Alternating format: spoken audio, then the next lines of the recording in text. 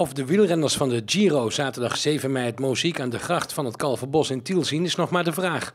Wel hopen Stichting Vier Stromeland in de gemeente Tiel dat het muziek met een fietsend flipje te zien is op televisie tijdens de live-uitzending. Normaal gesproken gaan de verenigingen in september aan de slag, ditmaal dus een paar maanden eerder. Een mooi tussendoortje, vertelt Ruud van Oort.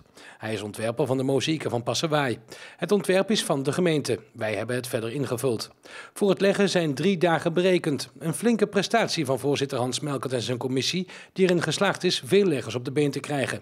Toch mist er iets, zegt Van Oort. De kleur roze, de kleur van de Giro. Maar wij hebben geen roze groente en fruit. Nu hebben we rode bieten als achtergrond gebruikt. En we gaan de Italiaanse vlaggen nog in verwerken, zo liet hij weten. Het mozaïek is na de doorkomst van de Giro nog een aantal dagen te zien aan de stadsgracht in het hartje van Tiel.